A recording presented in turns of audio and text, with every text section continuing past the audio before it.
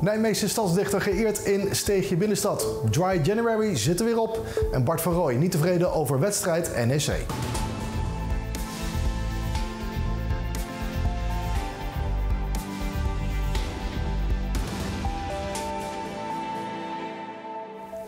In de binnenstad is er een straat waar je normaal amper mensen tegenkomt. Nijmegenaren komen eigenlijk alleen in dit straatje tijdens de Vierdaagse feesten, omdat er dan vaak wc-units staan. Verder is er weinig te zien in de Gruitberg. Tot gisteren, want sinds zondag hangen er negen gedichten van alle stadsdichters die Nijmegen sinds 2005 heeft gehad. Wethouder Vergunst en de huidige stadsdichter Heidi Koren hebben de Poëzieplaats geopend. 3, 2, 1.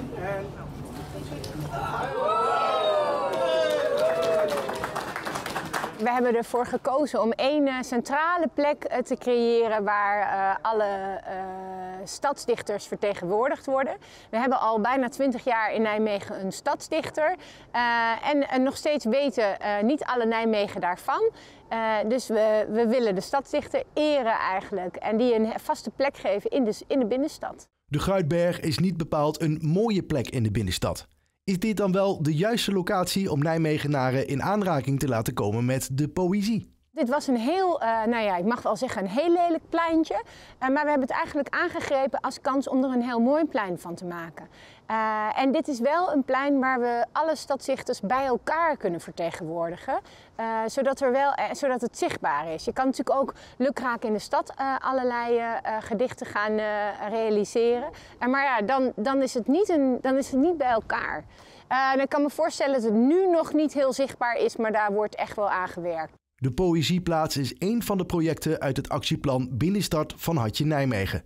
In het plan staan acties en projecten die ervoor zorgen dat de binnenstad een aantrekkelijke plek blijft om te bezoeken, te wonen en te ondernemen. Naast de verschillende gedichten zijn er meer plannen om de Gruitberg aantrekkelijk te maken. Die gedichten gaan het mooier maken, groot ook, die lijnen. Het groen gaat het mooier maken. Die, dat, dat gaat leven. Amal is blij met de Poëzieplaats. Ik vind het fantastisch. Eindelijk is het gerealiseerd. Dat heeft vijf jaar gekost. Vrijheid. Zo uit als de pijn, zo kwetsbaar als de kinderlijke blijheid. De maand januari zit er bijna op en dat betekent dus ook een einde aan Dry January. 631 Nijmegenaren namen deze maand deel aan Ik Pas. De campagne van de overheid om mensen bewust te maken van hoe goed het is om geen alcohol te drinken. Het team van beeldbrengers zocht uit of we hier aan mee hebben gedaan en hoe dit is bevallen.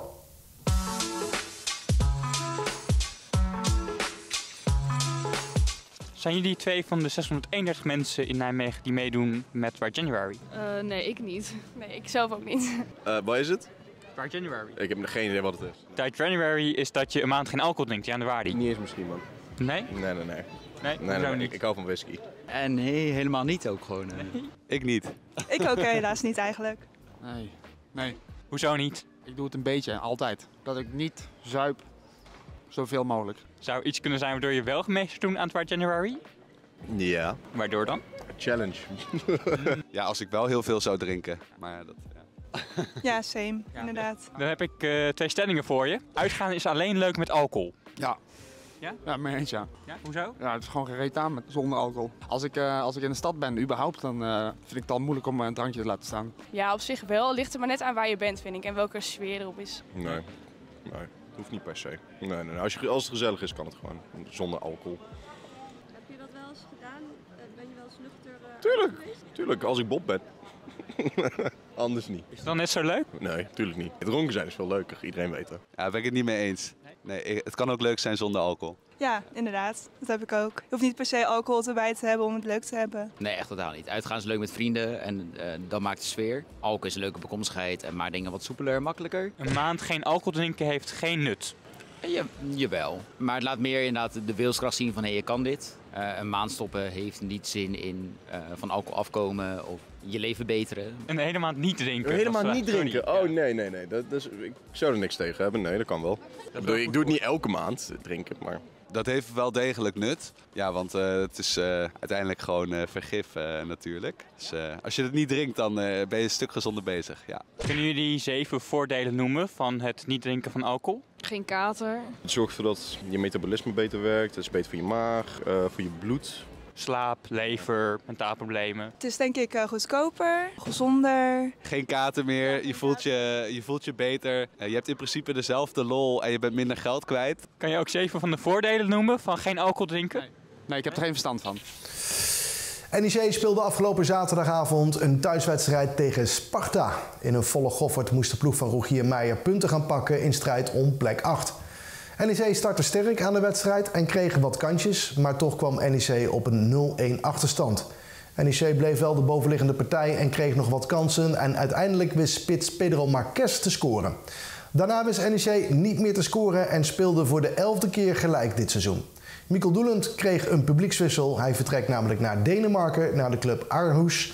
En na de wedstrijd spraken we met Bart van Rooij, die met weer een gelijkspel niet tevreden was. Zeker niet. En zeker niet gewoon als je naar het veldspel krijgt. En, ja, wij willen gewoon in ons eigen huis uh, hier winnen. En uh, daar hebben we alles aan gedaan. Alleen helaas vandaag ja. Tot slot, ja, de eerste maand van het jaar is alweer ten einde. Dus is het ook even tijd om terug te blikken op het regionieuws van de afgelopen weken. Van hoogwater tot aanpak van criminaliteit en van krakers tot nieuwjaarsborrels. Mijn collega Anton neemt je mee door de hoogtepunten van januari. Nadat het vuurwerkverbod weer volop werd genegeerd, moest eerst het afval daarvan worden opgeruimd. Na een mooi feest je eigen rotzooi opruimen. Hè? Zo uh, hebben we het toch eigenlijk met z'n allen ook geleerd. Vervolgens starten we het jaar natuurlijk met de gebruikelijke borrels. En wordt Margriet Bosma uitgeroepen tot Nijmegenaar van het jaar. Alsjeblieft, hier is voor jou. Geef ze een geweldig applaus hoor. We zetten alles weer even op een rijtje en merken dat de criminaliteitscijfers enorm zijn gestegen in de Waalstad. Toch moet het uitgaansleven voortaan een stuk veiliger zijn met een nieuw convenant. En ook zal het meer gaan bruisen met twee nieuwe clubs in de stad. Op vrijdag en zaterdag verandert die kroeg gedurende de avond langzaam naar een club. We krijgen weer met de gebruikelijke januari-perikelen te maken. Hoogwater in de rivieren dat eerst lijkt mee te vallen. Nee, er is uh, zeker geen reden tot uh, paniek. En vervolgens toch wat verder stijgt. En hoe verder het uh, vooruit is, hoe uh, minder nauwkeurig natuurlijk de uh, voorspelling is. En de nodige nachtvorst zorgt voor gladde wegen, ongelukken en volop bedrijvigheid bij de DAR. En dan gaat er met een volledige strooiactie ongeveer een 50 eh, ton uh, strooisout doorheen.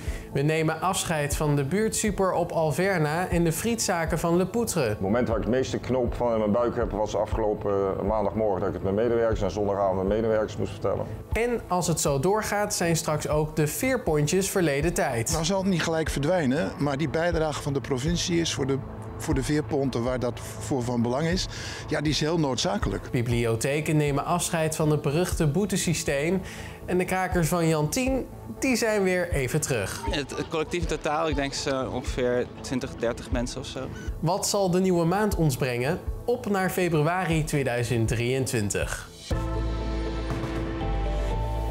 Na de nodige zonnige periode strok de lucht vanmiddag toch weer dicht. Gelukkig bleef het wel droog en dat zal vanavond ook zo blijven in onze regio. Dinsdag kan uh, vervolgens weer met wat uh, lichte regen gaan beginnen. In de loop van de middag wordt het weer droog en dan komt ook de zon weer eventjes tevoorschijn. Er staat een matige wind. Temperatuur morgen maximaal zo'n 8 graden. De woensdag belooft de meest onstuimige dag van de week te worden met veel regen en pittige buien. Vooral de wind maakt het voor het gevoel erg herfstachtig. Ja, de dagen daarna is er weer wat meer ruimte voor de zon. Tot zover het RN7 Regio Nieuws van vandaag. Voor het terugkijken van onze uitzending kun je altijd terecht op ons YouTube kanaal. En volg ons ook even op Facebook, Twitter en Instagram. Nu op RN7 kun je kijken naar een niet eerder vertoonde aflevering van De Streek In... met het verslag van het festival We Love the 90s. Morgen zijn we weer bij je terug. Graag tot dan.